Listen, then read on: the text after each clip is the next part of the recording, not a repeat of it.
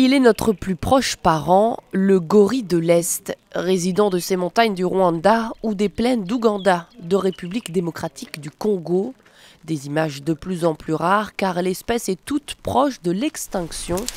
Ils ne sont plus que 5000 en 20 ans, près de trois quarts de ces gorilles ont disparu. Uh, Le plus grand primate au monde est maintenant classé dans la catégorie des espèces en danger critique de disparition. Sa population a largement diminué à cause de la chasse illégale. Braconnage, mais aussi guerre dans la région, déforestation, réchauffement climatique. Les menaces sont nombreuses, mais il est possible de sauver l'espèce. Exemple ici avec le panda géant.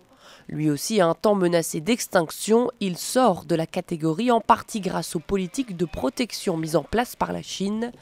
Il y aurait maintenant plus de 2000 mammifères blancs et noirs dans le monde, 2000 au moins avec l'arrivée ce week-end à Atlanta de ces jumeaux pandas.